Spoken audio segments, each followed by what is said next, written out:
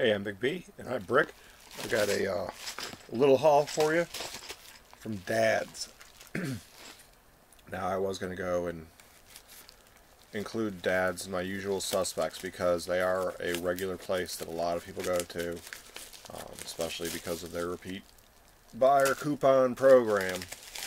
But uh, technically, as of this time, I also throw a sheet there. As of this time, they do not have a YouTube channel, and right now, Usual Suspects is exclusively to uh, YouTube people.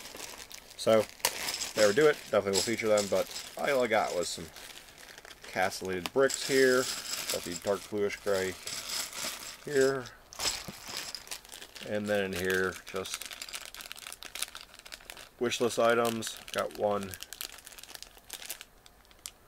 signpost. I have one of my sig fig legs in here.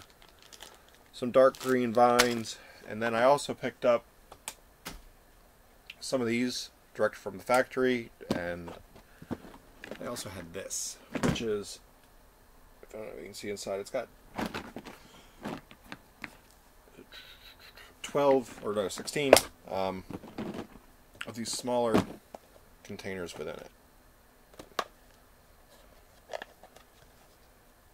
And, you know, I thought this was pretty much perfect for storing some of the odd-sized items and still be stackable.